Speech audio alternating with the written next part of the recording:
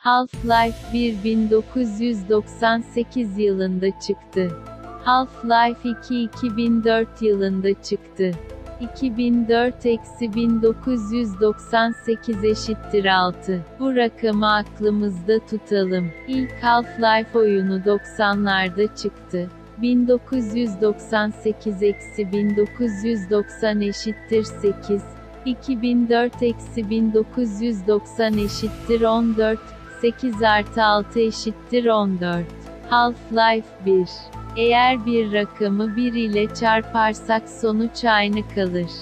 2004 artı 14 çarpı 1 eşittir 2018. 2018.